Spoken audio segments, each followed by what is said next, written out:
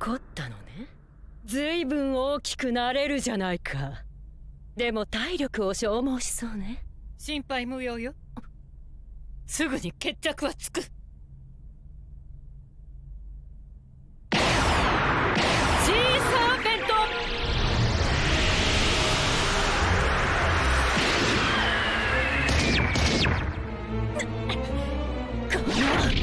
逃がさない。